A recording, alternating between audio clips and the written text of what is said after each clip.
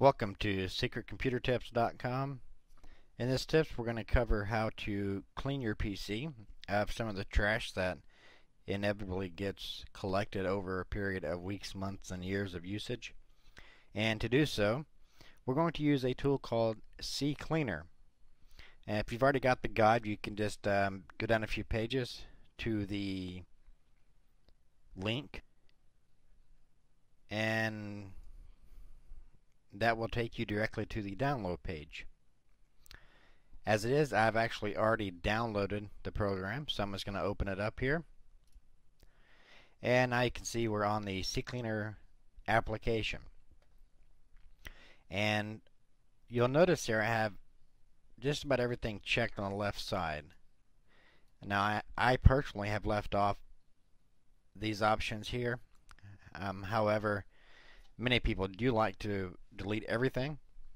And remember, this is just old data or prefetch data.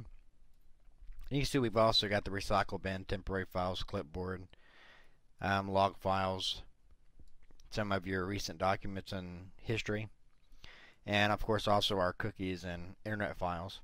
So if if you if any of this stuff you don't want to delete, you can just uncheck it. Um, for most people, they'd probably just want to clean everything. So since everything's already checked, we're just going to click over here and choose Run Cleaner.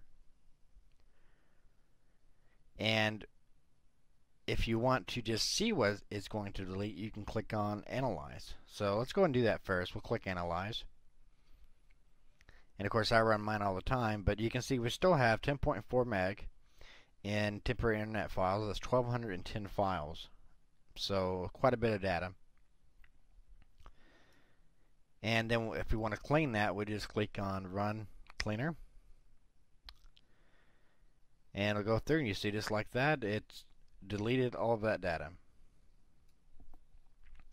So, that's the basic uh, way to use CCleaner. One other thing I do want to share with you, and it's under Options, is if you go to Settings, you'll see we have an option here to run CCleaner when the computer starts. And if you click click that, then um, every time that the PC comes on, it's going to automatically run that by itself. And so that's a pretty nice option for some. And under Advanced, we have a few more options here of temp files.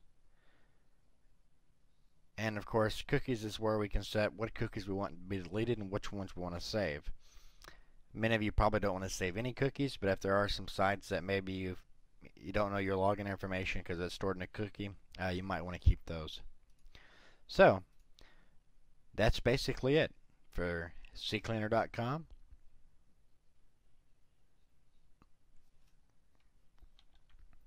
And again, the CCleaner application is available from ccleaner.com. And if you don't already have the guide, it's called Secret Computer Tips. And it is available right now, immediate download, at www.secretcomputertips.com. Thanks again for joining us. Have a good one.